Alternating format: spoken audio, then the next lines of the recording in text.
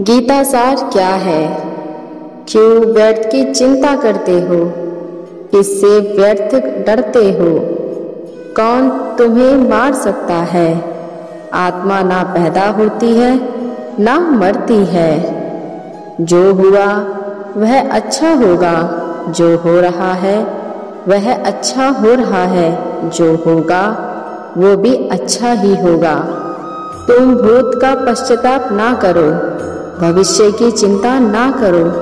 वर्तमान चल रहा है। तुम्हारा क्या गया? जो तुम रो रहे हो। तुम क्या लाए थे?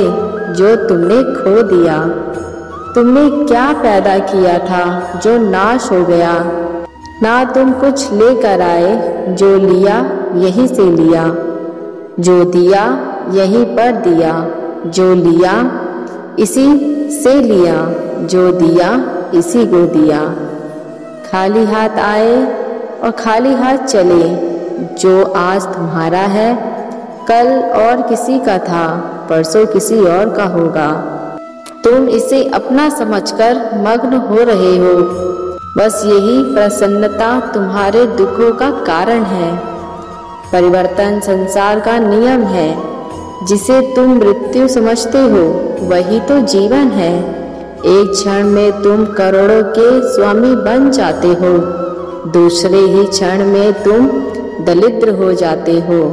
तेरा मेरा छोटा बड़ा अपना पराया, मन से मिटा दो, फिर सब तुम्हारा है, तुम सबके हो। ना यह शरीर तुम्हारा है, ना तुम शरीर के हो। यह अग्नि, जल, वायु, पृथ्वी, आकाश से बना है। और इसी में मिल जाएगा। परंतु आत्मा स्थिर है, फिर तुम क्या हो? तुम अपने आप को भगवान को अर्पित करो। यही सबसे उत्तम सहारा है। जो इसके सहारे को जानता है, वह भय, चिंता और शोक से दूर रहता है। जो कुछ भी तू करता है, उसे भगवान को अर्पण करता चल। ऐसा करने से सदा जीवन मुक्त का आनंद अनुभव करेगा। मानव शरीर अस्थिर और आत्मा स्थिर है। जीवन एकमात्र सत्य है, वो है मृत्यु। गुस्से पर काबू करना चाहिए, क्योंकि क्रोध से व्यक्ति का नाश हो जाता है। व्यक्ति अपने कर्मों को नहीं छोड़ सकता है। जो ज्ञानी व्यक्ति ज्ञान और कर्म को एक रूप में देखता है, उसी का नज़रिया सही है। इंसान को अपने मन पर काबू में रखना चाहिए। मनुष्य को पहले खुद का आकलन करना चाहिए और खुद की क्षमता को जानना चाहिए। खुद पर पूरा भरोसा रखें और अपने लक्ष्य को पाने के लिए लगातार प्रयास करें। अच्छे कर्म करें और फल की इच्छा ना करें। तनाव से दूर रहना चाहिए, क्योंकि तनाव इंसान को सफल होने से रोकता है। अपने काम को प्राथमिकता दें और इसे पहले करें। लोक में जितने देवता हैं, सब एक ही भगवान की भरी बूतियाँ हैं। जो लोग भगवान का सच्चे मन से ध्यान लगाते हैं, वह पूर्ण सिद्ध योगी माने जाते हैं। अपने काम को मन लगाकर करिए और काम में खुशी खोजें। किसी भी काम से अधिक इंसान के लिए बन सकती है बड़ा खतरा। दूसरे की भलाई पर ध्यान दे, सिर्फ़ अपना मतलब नहीं साधे। ईश्वर हमेशा मनुष्य का साथ देता है। संदेह की आदत इंसान के दुख का कारण बनती है। भागवत गीता का मुख्य संदेश क्या है? भागवत गीता का मुख्य संदेश में कर्तव्य, कर्म और त्याग के बारे में बताया गया है। साथ ही ज्ञान, क्रिया और प्रेम पर भी काफ़ी चर्चा की गई है। गीता सार में क्या लिखा है? महाभारत युद्ध में भगवान श्री कृष्ण ने अर्जुन को जो संदेश दिया, वह श्री भागवत गीता के नाम से प्रसिद्ध है। भागवत गीता क्या सिखलाती है? भागवत गीता हमें यह सिखलाती है कि आत्मा अमर है, केवल शरीर मरता है। मृत्यु के समय आत्मा दूसरे शरीर में पूर्ण जन्म लेती है। यह यहाँ जिससे सच्ची शिक्षा को पूरी तरह से समझ लिया है, वो मोक्ष या निवारण प्राप्त करता है, यानी पूर्व जन्म पूर्व जन्म से मुक्ति। गीता पढ़ने से क्या फ़ायदा होता है?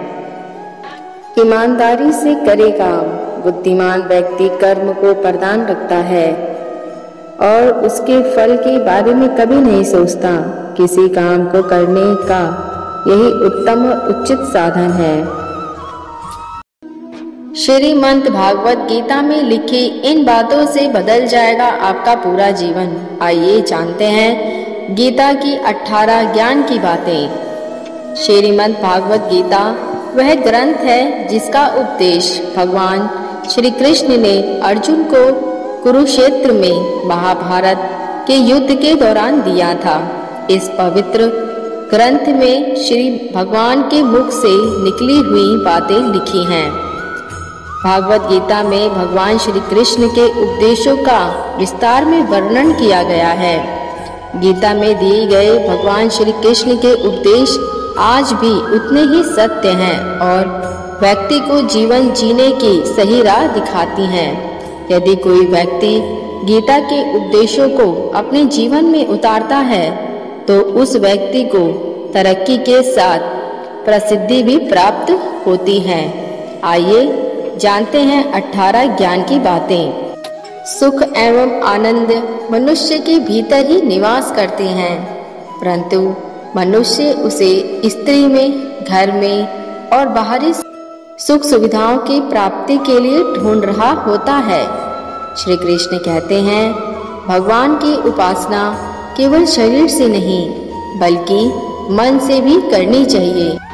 ईश्वर की वंदना। धन उन्हें प्रेम बंधन में बांधता है। मनुष्य की वासना ही उसके पुनर्जन्म का कारण होती है। मनुष्य इंद्रियों के अधीन है। इसलिए उनके जीवन में विकार और परेशानियाँ आती हैं। मनुष्य के अंदर धैर्य, सदाचार, स्नेह और सेवा जैसे गुण सत्संग के बिना नहीं आते। श्री कृष्ण कहते हैं, जिस प्रकार शरीर से वस्त्र मैले होने पर बदलते हैं, ठीक उसी प्रकार मन में, यानी हृदय में, मैल होने से उसे निकाल देना चाहिए। जवानी में जिसने ज़्यादा पाप किए हैं, उसे बुढ़ापे में नींद नहीं आती। उसे वह पश्चाताप में बिताना पड़ता है। भगवान ने जिसे संपत्ति दी है, उसे गाय को देखकर सेवा करनी चाहिए। इससे भगवान प्रसन्न होते हैं। जुआ, मंदिरा, पान, हिंसा, असत्य मंदिर असत्य और इन सब में कलयुग का वास है, इसलिए इसका और एक नाम है, घोर कलयुग।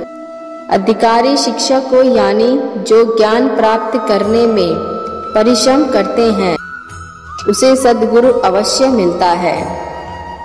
भगवान श्री कृष्ण कहते हैं कि मनुष्य को अपने हृदय को बार बार समझने की कोशिश करनी चाहिए।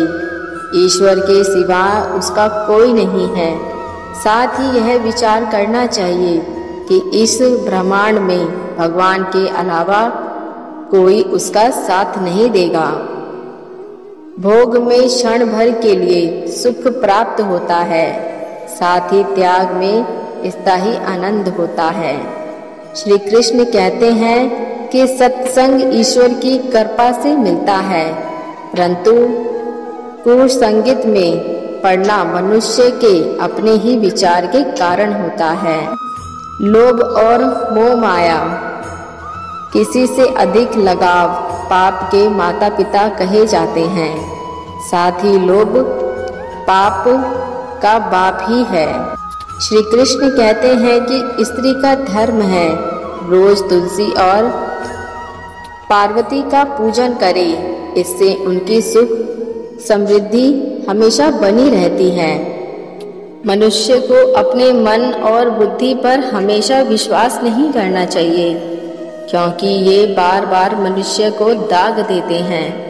खुद को निर्दोष बनाना बहुत बड़ा गुना साबित होता है। पति पत्नी पवित्र रिश्ता बनाए रखने से भगवान पुत्र के रूप में उनके घर आने की इच्छा रखते हैं। भगवान इन सभी कसौटियों पर कसकर, जाँच परख कर ही मनुष्य को अपनाते हैं। इसलिए मन में गलत विचार नहीं रखना चाहिए।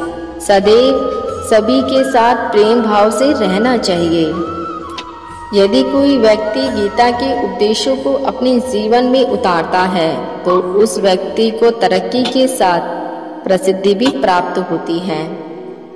फिर मिलेंगे दोस्तों नई वीडियो के साथ। वीडियो पसंद आए तो चैनल को सब्सक्राइब, लाइक, शेयर ज़रूर करें। देखने के लिए धन्यवाद।